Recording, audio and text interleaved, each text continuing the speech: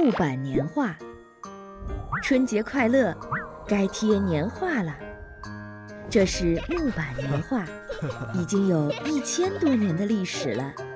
它来自于中国神话中保卫家园的门神，在民间深受欢迎。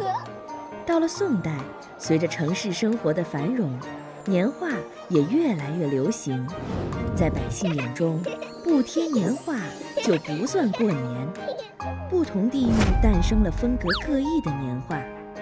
河北武强年画粗犷朴实，苏州桃花坞年画工整细腻，四川绵竹年画色彩浓艳。年画既是一门传统艺术，又是一种生活方式。它的主题可不仅限于新年祝福，还有历史故事、传奇人物、文学名著等等，包罗万象。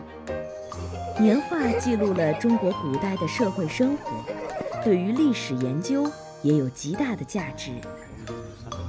木板年画吸收了中国古代雕版印刷术的精髓，匠人们个个身怀绝技。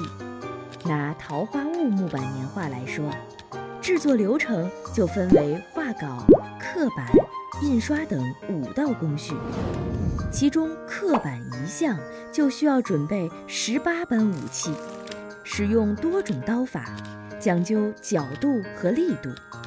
同样一块板，印刷出来的效果、风格也会因人而异，这正是年画手艺的魅力所在。木板年画历史悠久。但也不是一成不变的老古董。如今，许多手艺人对木板年画的内容进行了创新，比如这张抗击疫情主题的年画。时代变迁，不变的是勤劳勇敢的中国人民对美好生活的向往与努力。